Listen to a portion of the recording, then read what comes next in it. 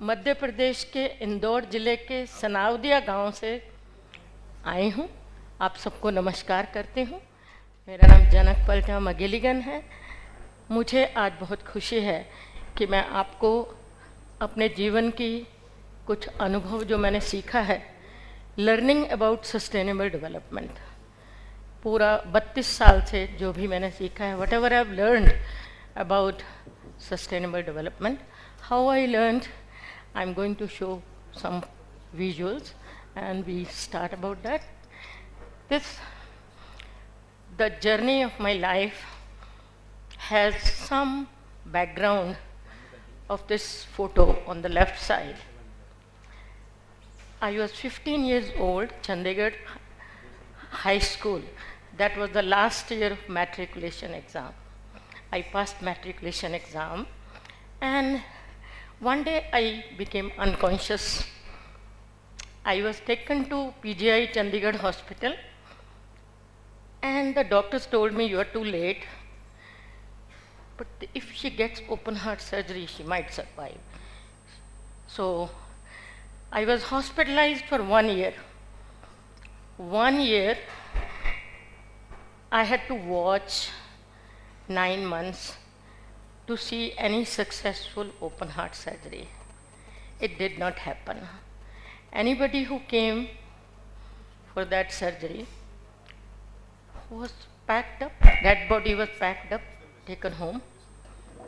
One day, a doctor comes, taps on my arm, and says, Janak, look, you have made a history. Your su- surgery is successful. Before the doctor could finish his sentence, and I just said, God, you have given me new life. I will spend it thanking you. That's how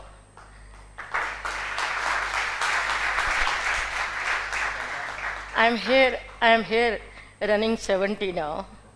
And, but after three months more in the hospital, I recovered and I came out. And continuously I have been thinking about God. Where is God? Who is God? How am I going to find Him? I started my inner journey going to all religious places, studying, doing some social work at my own.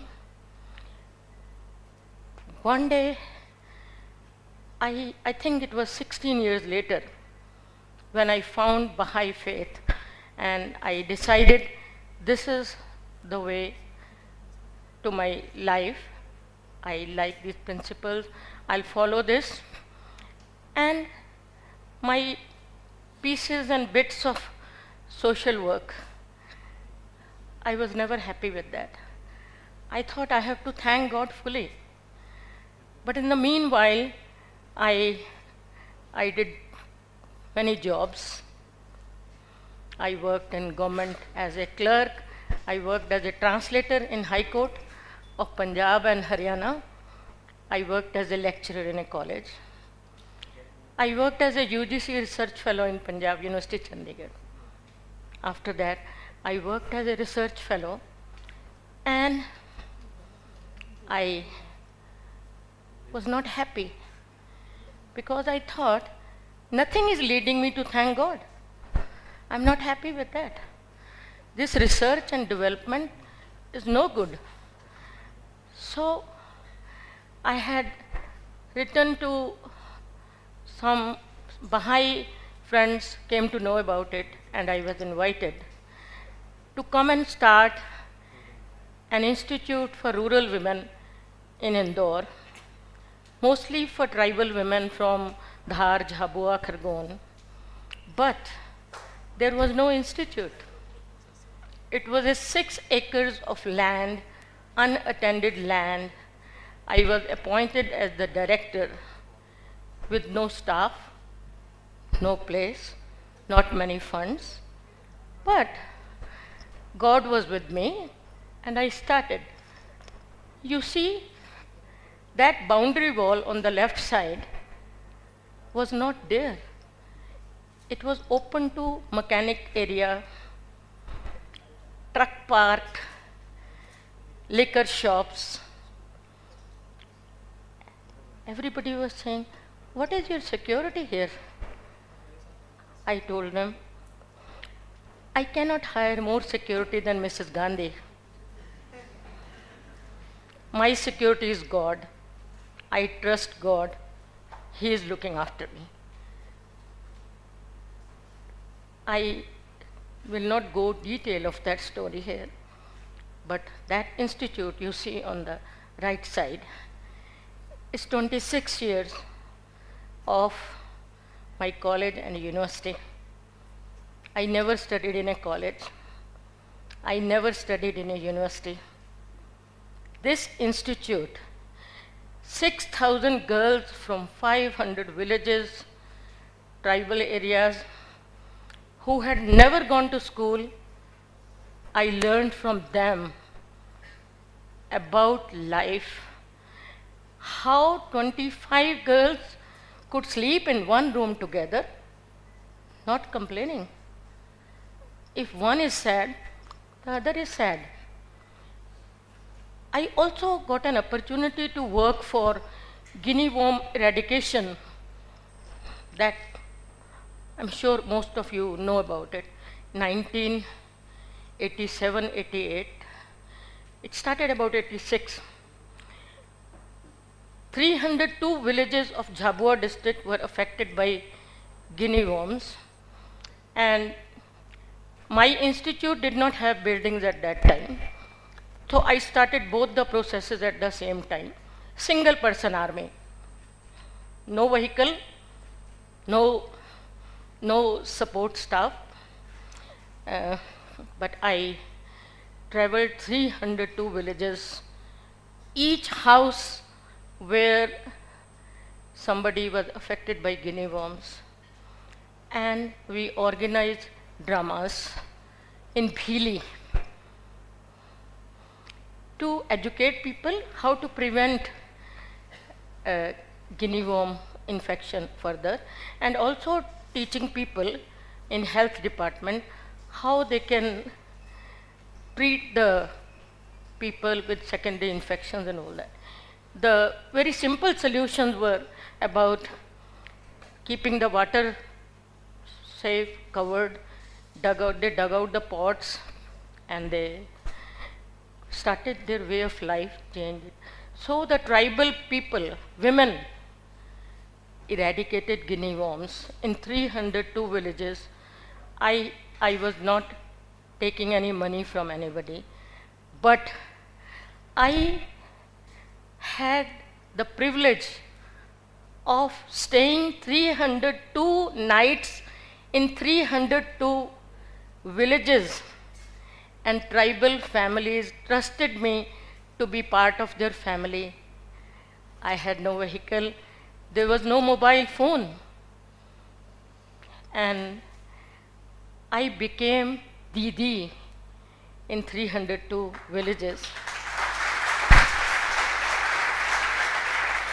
UNEP Global 500 Award was given to the Institute I was invited to receive that award during the Earth Summit in Rio de Janeiro in 1992. That, that made me very strong about my commitment to environment. Because I, I saw the conditions of the people, I saw the degraded mountains, drought, not much drinking water. Women are cooking in smoky kitchens. They are walking 15, 20 kilometers and they are subject to rape. They are subject to health problems, eye problems. They had abortions when they had to lift very heavy loads of wood on their heads.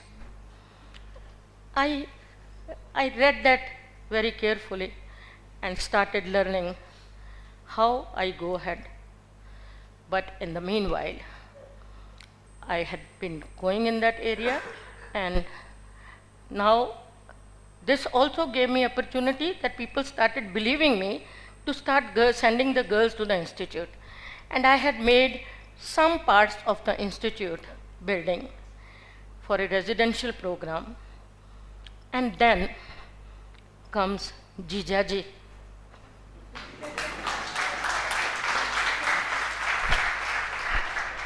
Jimmy McGilligan, uh, Irish British citizen, also a Baha'i who wanted to lead a life of thanking God. He was also a very serious environmentalist. But Jimmy had never gone to college or he had no background of engineering. No, he came from a farmer's family. And, but he was a mountaineer, he had a lot of uh, internal skills. He had a good coordination of body, mind, and soul. So we became a very good team, and we started further trying to put the sustainability aspect in that campus. We, do, we had a common vision. First thing Jimmy did was he went into this well and he cleaned the well. He raised the water table Slowly, plantation, all the girls will work every morning for two hours. Now we were two staff members from 1985 till 1988. We were two staff members. Then we were slowly getting some temporary staff. And institute, six acres of property, rainwater harvesting. And then you will see he did not complain about tools. Jimmy came to start working at that institute with a Swiss army knife. You know the people from UK, their tools, and you have seen the tools he made. He didn't complain. He just made whatever he could, appropriate technologies.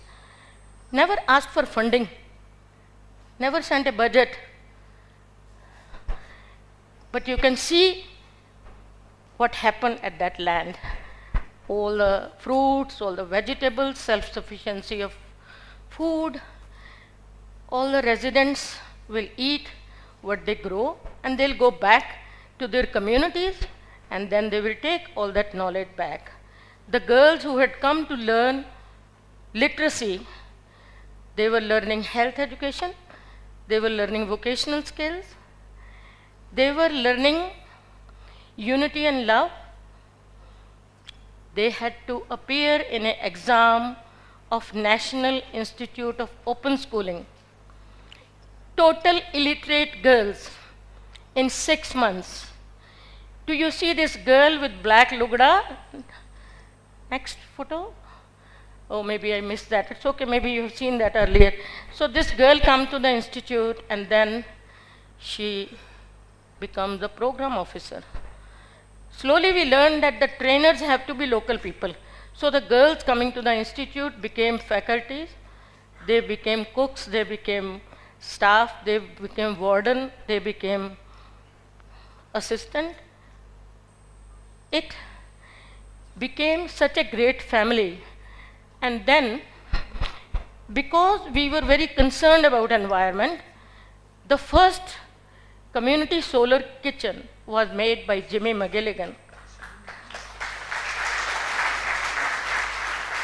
At Barli Institute in 1998, I told you, no mechanical engineering.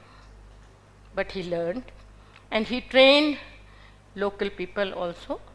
Then the first solar storage cooker came there.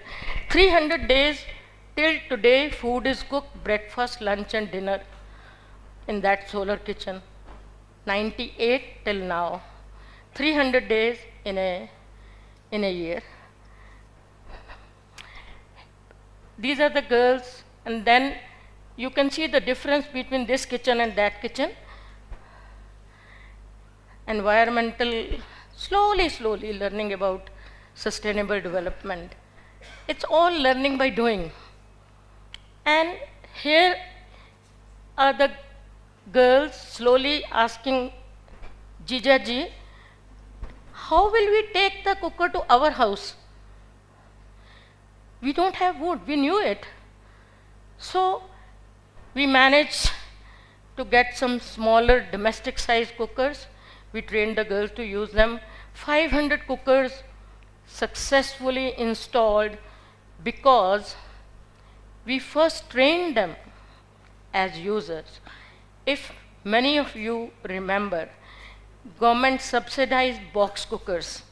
People took them home and then now they come and tell me, oh, my grandmother also had this cooker, but she did not know how to use it.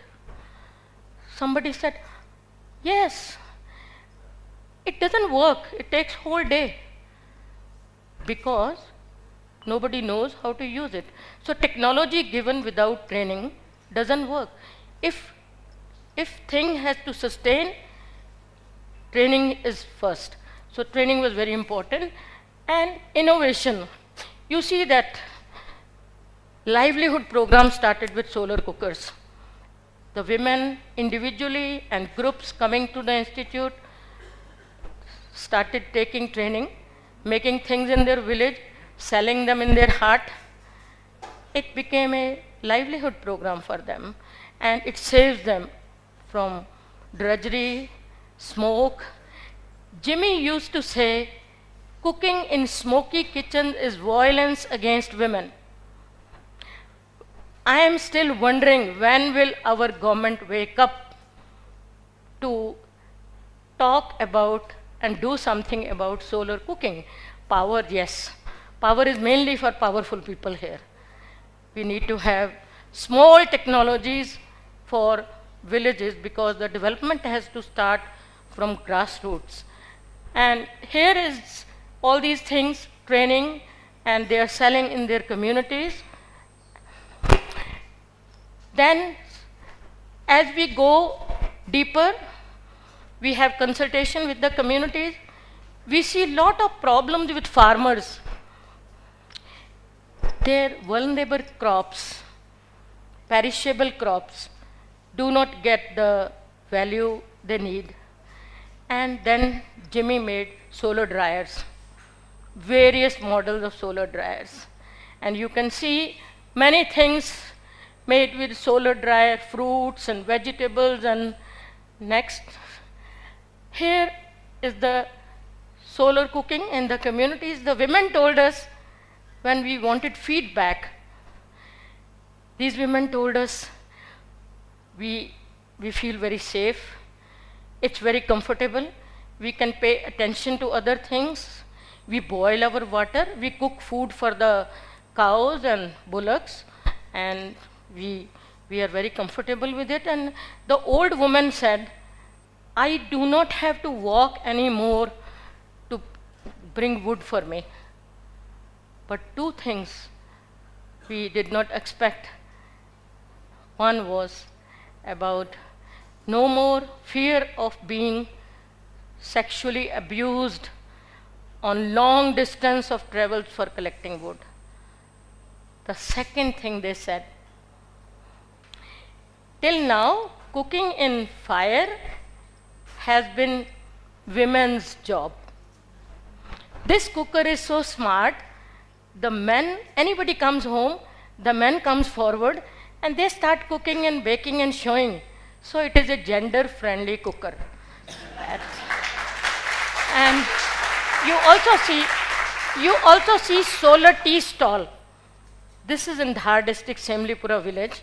So a family is selling tea the children are enjoying solar chai. And then we also try to learn what are the other uses of this technology. See, I had, I had never gone to college or school. I never studied science, not even general science. But we tried to think. And those girls, we sat with them, asked them, what can we do? So this girl comes, put an iron, then you can use ironing electricity not available is no problem at that time. This is an old, old picture. So they are stitching clothes for selling and they can iron also. Now, second chapter of my life, we, Jimmy and I decided that we had made a succession plan that we will retire in 2011. In 2010, we selected a spot, small piece of land, village Sanavadia. You can see him the day he would mark the land for making a house. In 10 months, he made that house himself. No architect, no planner, no engineer, no builder, no mason, all in one. I had one husband who could do everything in this world. he made this house, but before he wanted to complete the house, he is building, manufacturing these poles for making a solar and wind power station for the village where we were going to live and a tribal community was living there in a very dark area. So he decided to make street lights and he completed it. This power station is functioning since 2010 December and house was in that position. That the lights on from my house and this is the tribal community. This was 4th April 2011, Jimmy and I both met with an accident. I lost him after 17 days. I survived that car accident. Now, I had to again start my sustainability. How do I sustain myself? How will I do all the sustainable work that we decided to do in our retirement? We are but the privilege is we are living in a village. So the pe village people accepted me as their didi and he was already jijaji and people were, people were so, they were so impressed with his power station work and building that house that they started accepting me, helping me and working with me and this tribal girl is one of my graduates like your Surabhi, Nanda Chauhan. Nanda, her husband, two children, myself, my cow, two calves, boys, one girl, and one dog. Now we are nine of us living there. But Nanda and this boy also worked at the institute and they were part of building that house. They helped me to complete this house and this house was completed in two and a half months while we were living there. And you will see that house was not just a house. It's my residence. Residence i'm living with these people. But the work I'm doing is dedicated to the name of my husband. It's not a funded NGO. I do not take any money from anybody because I don't need it. I have half an acre of land, some other person's land for goodwill. This complete one acre keeps all of us survived. 100% organic food. I only buy salt, sugar, tea leaves, and cooking oil. Rest is all organic. My cow is giving everything to make this land sustainable. Everything. We are all sustained by cow. One cow. Gauri. She has two boys now doing plowing in tribal village, Makhan and Fagun. And the baby girl is now Urja. So I have a big family looking after me. I'm not looking after the family. This is sustainable development. I also want to tell you before this that in 2007, why I took so much interest in organic. In 2007, I underwent four cancer surgeries. I survived cancer, four surgeries, and that now it's 10 years. The kind of work I have done in last 10 years, I had not done in my entire life. Cancer has helped me to grow.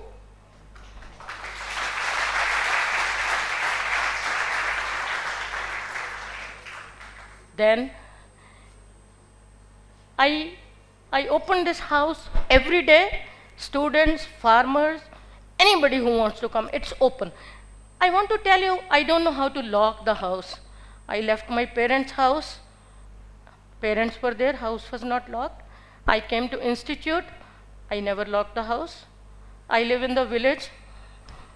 I don't lock the house. It's open. 50,000 people have come here in last six years. Practically every day, half day is spent on giving a tour, sustainable technologies, sustainable lifestyle. How I live life, I use, this is my solar kitchen you have seen in the earlier picture. We generate our own electricity, we generate our own food. No waste, no trash bins, waste-free life. My last gas cylinder, when Modi ji asked for subsidy, I was maybe the first one to give my gas cylinder away. Subsidy. Last time I have changed my gas cylinder is after two years, four and a half months. I don't need gas because sun, sun God is there every day to bring me sunshine, air, five elements are sustaining me. I am not sustaining five elements. I think that's what we understand to know that five elements don't need us. Environment doesn't need us. We need environment.